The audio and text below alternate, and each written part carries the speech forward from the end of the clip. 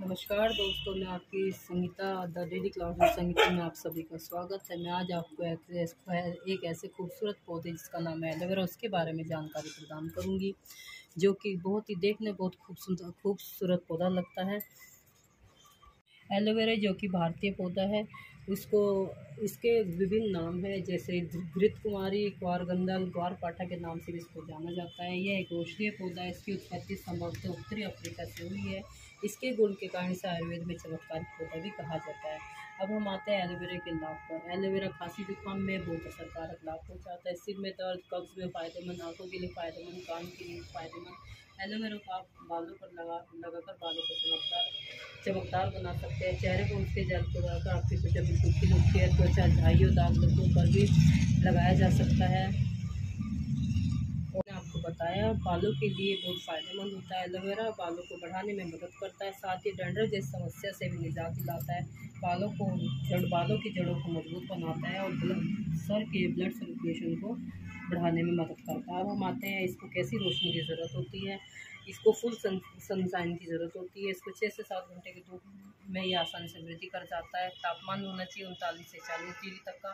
यह आसानी से चलता रहेगा। यदि चालीस डिग्री से ऊपर तापमान में इसको रखा जाता है तो इसको थोड़ा सा धूप थोड़ा सा उसको छाया प्रदान करनी आवश्यक है। अब हम आते इसकी डायरेक्शन पर इसको किस दिशा में लगाया जा सकता है? South and south west direction में इसको सबसे बेस्ट डायरेक्शन में लगाने के लिए। इसलिए इसको शुभ, ये इसके लिए शुभ दिशा मानी जाती है। अब हम आते हैं बात करते हैं वाटरिंग की, इसमें कैसे पानी दिया जा सकता है? यह एक सेकुलेट प्रणाली का पौधा है। इसको इसकी यो सेकुलेंट के कारण मतलब ये अपनी पानी पत्तियों में सोख कर रखता है, इसलिए इसमें ज़्यादा पानी की ज़रूरत नहीं पड़ती। है इसमें पानी अच्छे से दीजिए। इसके बाद जब तक इसकी मिट्टी अच्छी तरह न सूखे, इसमें पानी की आवश्यकता नहीं है। अगर ये गलने लगता है तो उसका सिर्फ़ एक ही कारण होता है कि आप इसमें ज़रूरत से ज़्यादा पानी डाल रहे हैं। अब आता है इसकी मिट्टी के ऊपर, इसमें किस प्रकार की मिट्टी की आवश्यकता होती है, ये आपको पता है, रेगिस्तानी पौधा है, रेगिस्तानी पौधा होने के कारण ज़्यादा, ये रेगिस्तानी पौधा है, रेगिस्तानी पौधा होने के कारण इसको ज़्यादा गीली मिट्टी की आवश्यकता नहीं होती, इसमें ज़्यादा खाद आदि की ज़रूरत नहीं होती, इसमें सिर्फ़ दो बार खाद डालिए साल में और इसमें यह आसानी से चलता रहेगा बात है फर्टाइल फर्टाइल इसको किस प्रकार इस साल में दो बार कंपोस्ट डालिए और ये ज़्यादातर होता है पतझड़ में या बसंत में इसको आप इसको ट्रांसफ़र कर सकते हो। अब रिपोर्टिंग जब इसके, आप छोटे छोटे पौधे रिपोर्टिंग के लिए आप यहाँ यहाँ पर इसके छोटे छोटे पौधे आते हैं छोटे छोटे पौधे निकाल कर आप इसको अलग लगा सकते हो। और उसको सेपरेट करके आप मदर प्लांट भी मदर प्लांट भी तैयार कर सकते हो।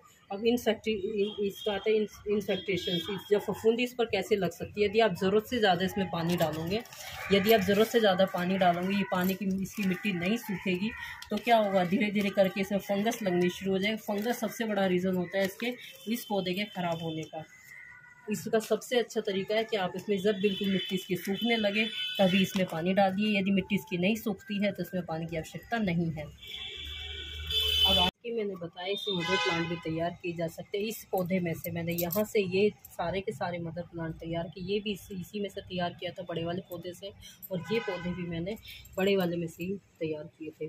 अब आते हैं फूल पर। जब ये पूरा मैच्योर हो जाता है तीन चार साल बाद इसमें क्या है, अपने यहाँ आप फूल आने लगे तो फूल बहुत खूबसूरत आते हैं, इसके लाल रंग के भी हो सकते हैं, पीले भी हो सकते हैं, विभिन्न कई प्रकार के हो सकते हैं तो प्रजाति के ऊपर निर्भर करता है, किस प्रजाति का पौधा है। ठीक है, अब हम आते हैं सावधानी, इसको सावधानी रखने रखने के लिए सिर्फ़ एक चीज़ ध्यान रखनी है, जो उसका जेल होता है।